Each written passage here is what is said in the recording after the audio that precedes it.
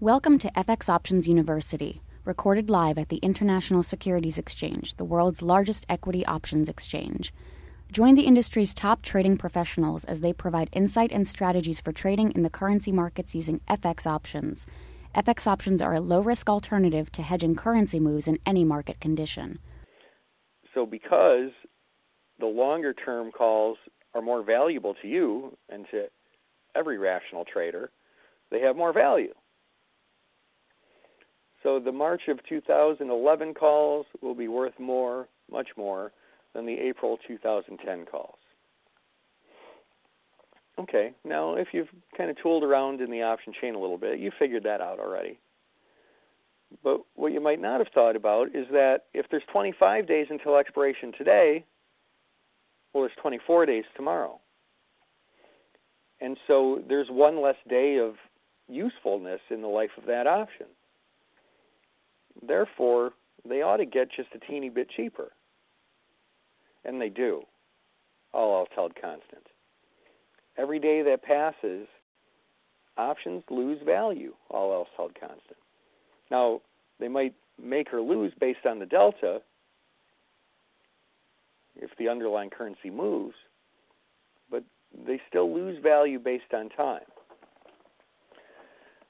And how we measure this change is with theta. Theta is the rate of change of an option price given a change in the time to expiration. So we have theta in option chains as well. Now, the key to understanding these numbers is, you know, just understanding the definitions, like I said. And, um, you know, our last question pointed out how you know, it, it can get a little tricky. Delta is a percentage of the movement of the underlying. Gamma is basically how many deltas it changes by. Theta, now what's this? It says negative 0.0371.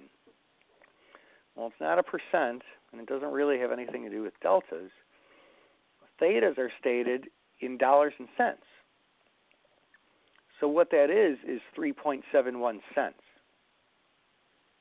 3.71 cents a day that that option loses in value.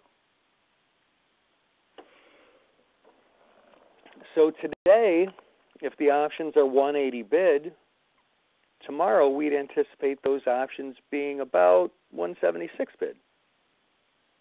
You know, about 4 cents. We'd have to round here because options don't trade in tenths of a cent. and then the next day, it'll be worth another about 4 cents less down to a buck 72. And every day that passes, our option loses value by the theta. Now specifically, I'm saying the option loses value. The trader may or may not be losing value. It depends if you are long or short the call. If you're long the call, you sure don't want it to lose value. When you own things, you want it to become worth more. But when you short things, you want it to become worth less. So if you own this call, you're losing about 4 cents a day. And if you're short the call, you're making about 4 cents a day. Now, why the heck would anybody ever want to buy an option? Well, there's a lot of people who are smiling to themselves right now saying, yeah, that's right. Why would anybody want to buy an option? And, you know, th there's something to that, but there is some justification to buying an option, though when when you're really looking for a pretty good move in a pretty short period of time, there's no leverage out there like it. You're paying for that leverage. And if you're only going to hold the option for a short period of time, theta is not that big of an enemy to you. But before, when I was talking about P&L diagrams or at expiration diagrams, you know, if you're going to buy this call and hold it till expiration, theta wreaks havoc every single day you hold that option and by the time the option expires, there's no time value left. The only way you can make money is if the currency rises far enough to cover all the theta decay over the next 25 days. Yuck.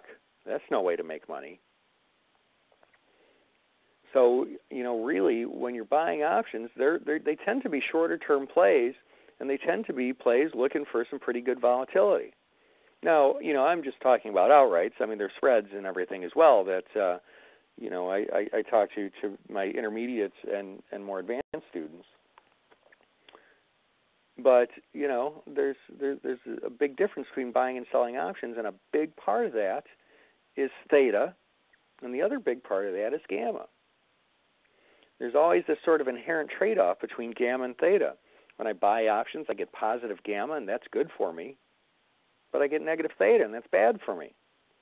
When I sell options, I get negative gamma, and that stinks. But I get positive theta, so that kind of, you know, compensates me for that detriment.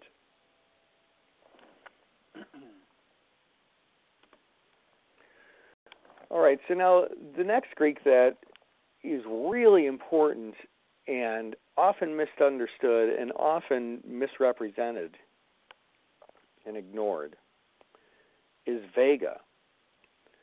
Vega is volatility. Vega is, and we're going to have a slide on this in just a second, but let me steal my own thunder here for a second. Vega is the rate of change of an option price based on a change in the volatility of the under of well the implied volatility.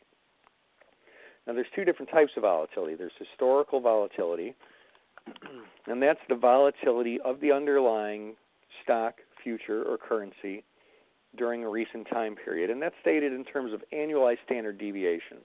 Now that's kind of a, a little bit of a mouthful here. really, all it is is a, a, fancy way of saying it measures how volatile that underlying currency has been over the past, you know, probably 30 days. And then we take that 30 days to represent a whole year by annualizing it. An option with a 40 historical volatility, or excuse me, a currency with a, say a, well, for currencies, the volatility is a little lower. Say a currency with, say, a 25 historical volatility is much more volatile than a currency with, say, a 10 volatility. It, the one with the 25 historical volatility moves more, has bigger oscillations, bigger daily price swings than a currency with a 10 historical volatility. Okay, simple enough, fair enough. What about implied volatility? You've probably heard that word being tossed around here and there in seminars or with some of your option trading friends. Well, implied volatility is the is here. Well, you know, I've got a definition here, and this is a pretty good definition, but I want to give you more than one. Let's start here, though.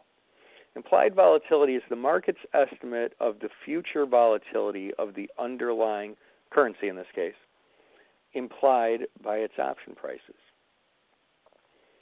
Okay.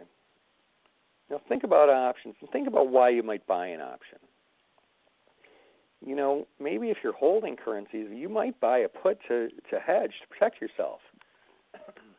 Options can be used as, as veritable insurance uh, policies. now, if you're looking at a currency and, you know, it's just not very volatile and you're not too worried about it moving, you're probably not going to buy that insurance. But if you're looking at a currency and things are really heating up, and it's been pretty volatile, and you're really afraid of a big volatile downward swing, then you're pretty inclined to buy puts to protect yourself. That, that creation of demand makes them more expensive. Now, you know, I'm kind of speaking in subjective terms, but, you know, option traders can be pretty clever and pretty scientific about this. And the way they would look at it is they would say, well, the historical volatility right now is say 10, I'm afraid that volatility could increase to like 20. So uh, if I can buy options for cheaper than a 20 volatility, I'm buying value. Thank you for participating in this week's session. Please join us again next week. Get trading ideas, exchange rates, webinars, news, and commentary. Visit www.fxoptions.com. ISE FX options can be easily traded through all options enabled brokerage accounts. These exchange listed securities are cash settled in US dollars and have a European style exercise.